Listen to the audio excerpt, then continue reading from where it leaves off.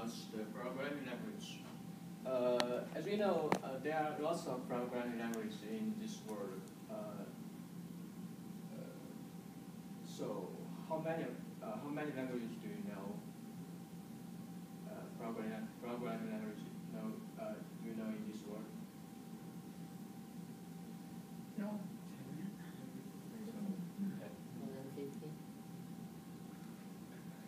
So what do we, what do we use it for? Since so many As uh, there is a course in China, in ancient China, called play music to the cow. Yeah, the, the cow cannot understand it very well.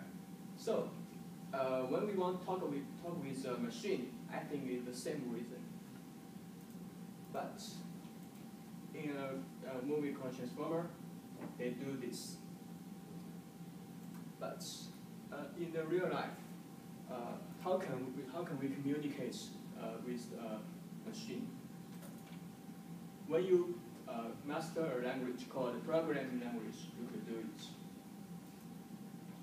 So let's look at cognition. A programming language is the artificial language designed to communicate instruction to a machine, particularly a computer.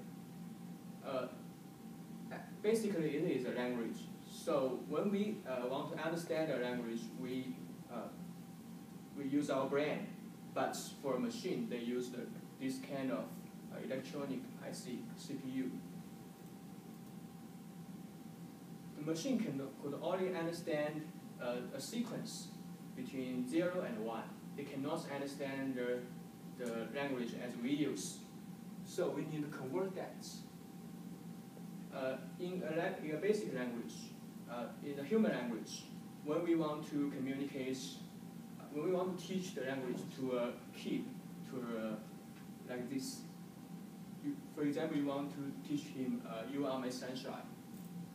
It, first, you need to teach him the alphabetic character. And second, you want to uh, teach him the meaning of the combination of each alphabetic U means what, and R means what. So in a programming language, they also need uh, syntax and semantics. A syntax is uh, sequences of text including words, numbers, punctuation, much like written language, natural language. So let's look at some code. This is a code uh, in a language called Python. But when the machine wants to read it, it just uh, uh, distinguish all the uh, text into, set, into, uh, into in a tree like this, is parse tree. So each one is, is the uh, syntax of this language, uh, such as the neuron index, STMP, and from the structure, uh, he, uh,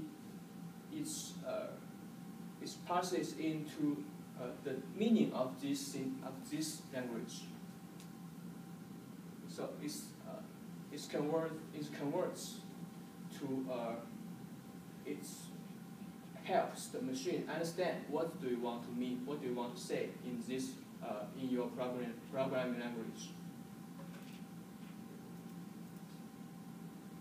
So uh, it, I will introduce the process. First, uh, when you input the program language, uh, the compile process will uh, check your syntax and semantics. When it is correct, it will link, link the lib in the computer and converts the file into a executive file. And last, and executes the language.